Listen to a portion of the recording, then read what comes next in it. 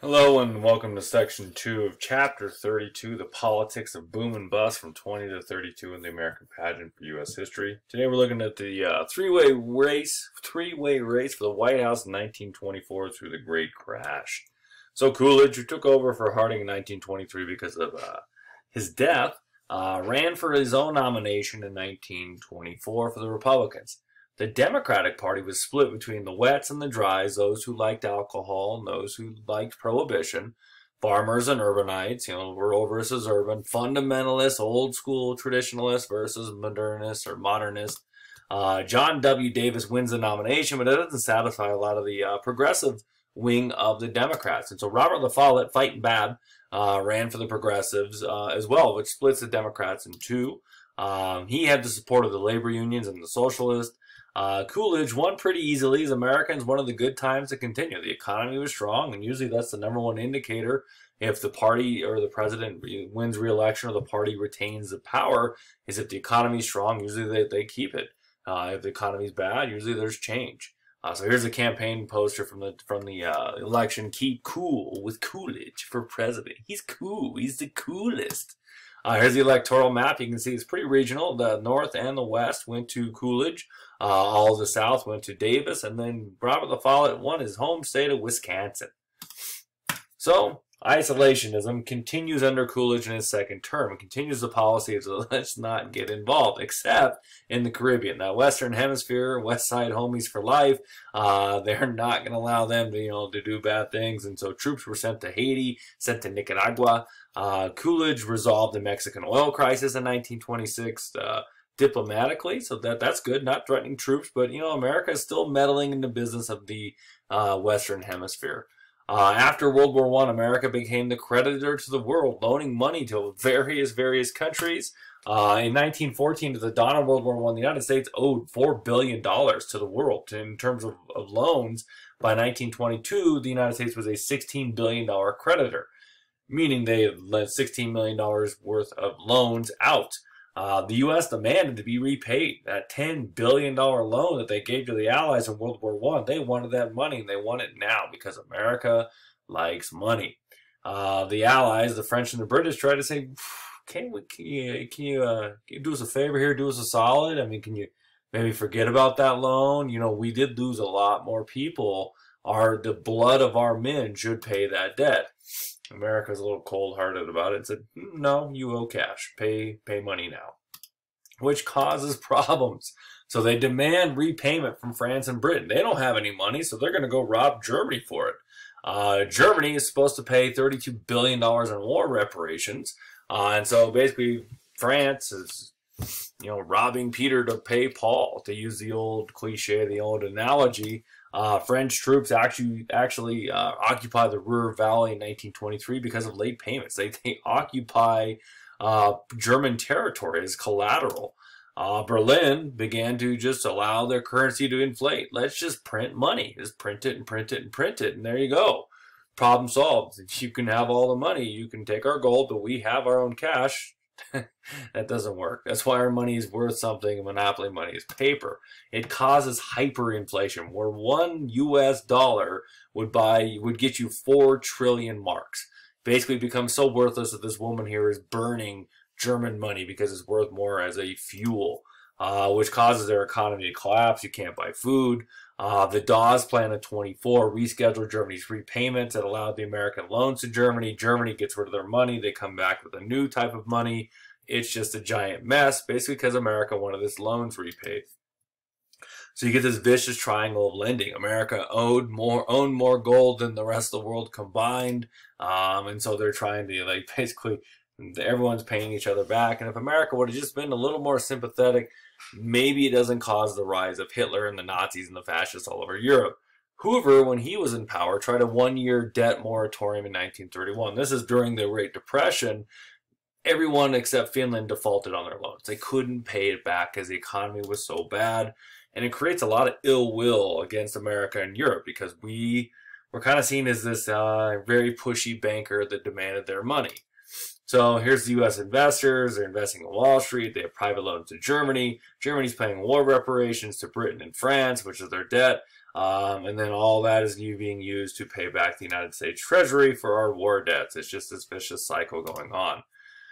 This is to show the German inflation under the Weimar Republic in the 20s when their currency really went bad. So in 1918, um, a loaf of bread cost 63 cents or Deutschmarks. Uh, by 1922, inflation had caused it to rise to 163 dollars or Deutschmarks. So imagine going to McDonald's and getting your hot and spicy for a dollar, and now suddenly three years later, four years later, it's 164 dollars, 163 dollars. You freak out, you lose your mind. By January 1923, it's 250 Deutschmarks. By July, 3,465. By September, 1.5 million. By November, it took 201 billion Deutschmarks to buy a loaf of bread. How do you, how do you pay? Dump truck, wheelbarrow? I mean, what do you do with the change? It's just, it's, absurd. Their economy collapsed. This gentleman right here is wallpapering his wall. Uh, obviously, I guess you would wallpaper a wall, not a ceiling, but he's wallpapering um, with money. These kids are playing basically before Legos stacks of bricks with money. That's money that they're stacking up in the shape of a pyramid. So, the election of 24. You have Herbert Hoover, uh, regarded as probably the smartest man in America. I mean, he's been called a genius in the media. That's not a word thrown around lately, not usually associated with politicians, but he has been called a genius, a Stanford graduate, running against New Yorker Alfred Smith. Uh, Hoover promised to keep everything going. And you like money? You like having a good time? We'll keep it going. We'll keep the same Republican policies. Smith was hurt because he was a Catholic. He also was a wet uh, candidate, meaning that he wanted to bring liquor back. Uh, both candidates campaigned on the radio, something new, something, you know, novice and, and unique about the 20s. As, you know, now we have the advent of radio. Smith was unable to win the South, even though he's a Democrat because he was a Catholic. Uh, his opposition to prohibition, his liberal ideas, and he had a really thick New York accent. Like, tell you what we're gonna do, and We're gonna bring the booze back. You know, we have a good time. Southerners didn't like that. Southerners have their own way of talking. Excuse me, that hurts my throat to talk like that. Hoover won the election of 28 in a landslide, becoming the first Republican candidate in 52 years to win a state that has seceded, except for Harding winning Tennessee. Uh, that closes the book on Coolidge. Joy. Uh, here's Hoover on a whistle stop tour. Here's the electoral map. That's kind of dominance right there. I mean, uh, Alfred Smith only won Arkansas, Louisiana, Mississippi, Alabama. Georgia and South Carolina. Do, do, do. Oh, forgot about Massachusetts and Rhode Island. Sorry. Pretty much a, a butt whooping there. So, Hoover's first, first moves. Um, disorganized wage earners and disorganized farmers were struggling, and he sought to help them out. He really had kind of the spirit of, you know, we can fix things. We can make the, the world a better place. He passes the Agricultural Marketing Act to set up a farm, federal farm board. They set up co-ops to buy surpluses to try to stabilize farm prices. So basically, if farmers had nowhere to sell their goods, the government would buy them and hold on to them. By doing that, they could pay, you know, farmers can make a livable wage is what they hoped. But too much surplus was produced. It sapped the budget. It kept prices too low. Uh, you also get, uh, in reaction to the stock market crashes, the Hawley-Smoot tariff, which technically was the correct thing to do economically in terms of theories. If the economy's bad, you need to raise tariffs, protect your own businesses. But what it does is it causes the basically the Great Depression to become a worldwide uh, depression. It's the highest protective tariff in the history of our nation during peacetime. Uh, the tariff deepened the depression that the United States had and other nations. So yeah, bad move. So let's talk about the stock market stock market doesn't necessarily cause the Great Depression. It's kind of interesting. It's a difficult thing to wrap your head around. Uh, it, it's it takes several years for the depression to hit. So you have the boom during the 20s. You could buy stock on margin. You could buy stock with as little as 10% down. Uh, and if you bought stock for $100, let's say, and then it doubled, uh, you could pay $10 and get $100 worth of stock. And then if it sold uh, for double that, $200, you would make, you know, 100 $190 profit.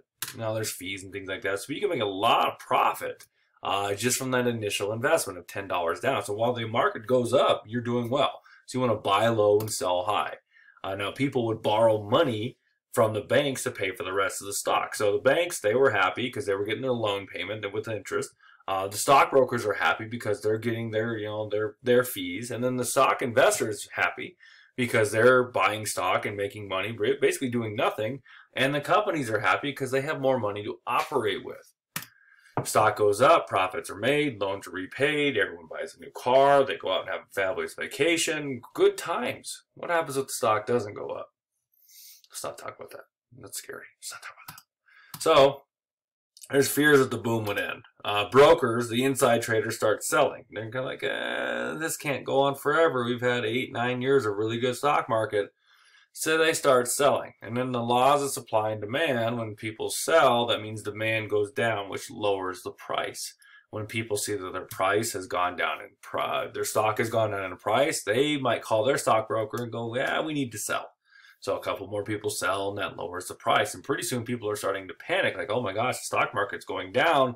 I got to sell, sell, sell, sell, sell, sell, sell.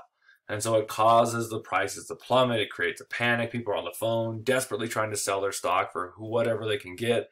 People are wanting to buy. They know that the stocks are plummeting in prices. They can hold out for a better deal. So you actually have not one, but two stock market crashes. October 24th, Black Thursday, 13 million shares were sold in one day. Uh, things open back up on Friday, pretty normal. Saturday, Sunday's closed. Monday's normal. Tuesday, Another panic. 16 million shares are sold. There's fist fights on the Wall Street stock with New York Stock Exchange. Uh, some guy lost a prosthetic leg. I'm not making this up. You can look it up. Uh, the market lost $40 billion in value. Oops. So what it means is those companies that normally had that cash, uh, that money to operate, they don't have that money anymore and it takes a little while to catch up. And so to operate, they have, you know, maybe some coppers, they have some saved up money, but once that's gone, to operate under less uh, money, they have more, you know, their operating expenses are still high. They have to lay people off. And when you lay people off, a person loses their job. They don't buy as much food. They don't go to the movies as much. They might not buy that new car.